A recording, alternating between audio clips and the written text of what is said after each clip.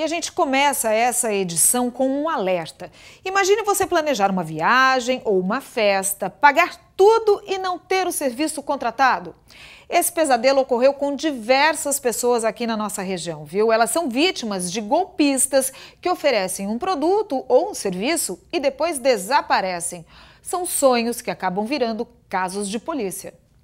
Seu José estava todo animado, planejando um fim de ano perfeito, com uma viagem com a família e os amigos para a praia. Só que aí veio a surpresa. A agência de viagens, contratada por ele, cancelou tudo de uma hora para outra. A gente tinha programado uma viagem para o final do ano agora, né? Para dia 12 de outubro, para estar tá indo para Guaratuba, na Ilha do Mel.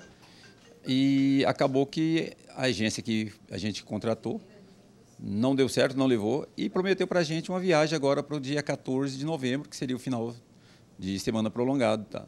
E chegou no, no dia 13, eles informaram para a gente que não ia ter a viagem. O prejuízo passa de 13 mil reais. O seu José e os familiares, que são de Araçatuba, na região noroeste de São Paulo, entraram na justiça e agora esperam receber a quantia que perderam. Não muito distante, apenas aproximadamente 10 quilômetros, outro caso parecido. A Amanda, que mora em Birigui, tinha organizado tudo para o aniversário de cinco anos da única filha.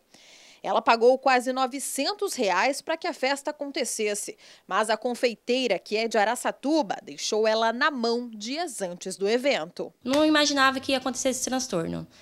E agora você saiu no prejuízo? Saí no prejuízo. Eu perdi dinheiro, fora o prejuízo também. A minha filha, que não entende nada. Ah, foi lá, não tem festa, a mamãe não vai fazer festa. Então, tipo assim, é, fora o lado financeiro, também tem esse lado que prejudicou muito a minha filha. Não receber os serviços contratados está cada vez mais frequente, né? A Polícia Civil diz que nesses casos a investigação é diferente, mas de uma forma geral, é possível sim evitar os golpes. O que a gente aconselha é que as pessoas, antes de contratarem um serviço, peguem referências né? Entrem em contato com pessoas que já contrataram, verifiquem se essa empresa, se essa pessoa é de confiança, se ela cumpre com o que promete, principalmente quando o valor for um pouco mais elevado.